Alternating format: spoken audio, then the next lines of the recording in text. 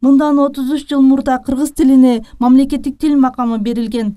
жыйырма үчүнчү сентябрь эне тил күнү ага ылайык облуста мекеме ишканаларда майрамга карата даярдыктар кызуу жүрүп жатат. алардын катарында баткен районунун кыш тут айыл өкмөтүндөгү китепканада да бурч ачылып иш чара өткөрүүгө камынып жатыптыр. жыйырма үчүнчү сентябрь кыргыз тилинин күнү келе жатат. Ого балдарга жаш балдарга ошо тил боюнча макал лакап айткан боюнча конкурс баягыдай иш чараларды өткөзөйүн деп турамын. Аталган китепкананын директору жамала жоробекова отуз жылга чукул айылдагы китепкананы жетектеп келет. Китепканада жаш балдар үчүн окуу бөлүмү ачылып үч жүзгө жакын жомок китептери өспүрүмдөрдү кызыктыруучу оюнчуктар коюлган.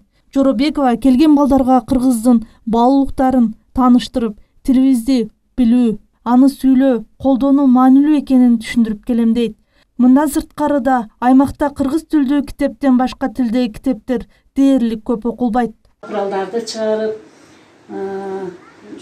оюнчуктарды ойнотуп көп оюнчуктарды өзүм алып келип балдарга кызыктырып көргөзүп ойнотомун улут болсом тилим менен улутмун дегендей тилди билүү барктоо аны кийинки муунга татыктуу тапшыруу маанилүү.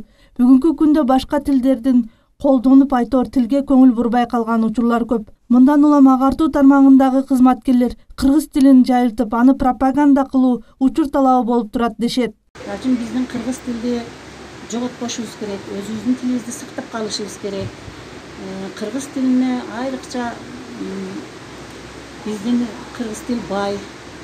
Эске салсак кыргызстанда быйыл тилдин отуз үч жылдыгы белгиленет буга чейин мамлекеттик тил комиссиясынын төрагасы каныбек осмоналиев мамлекеттик мекеме ишканалардын иш кагаздарын кыргыз тилине өтүүсүн айткан болчу. Динара курбанбекова бексултан кайратбек уулу алтын бешик жаңылыктары. Азыр болуп калдык э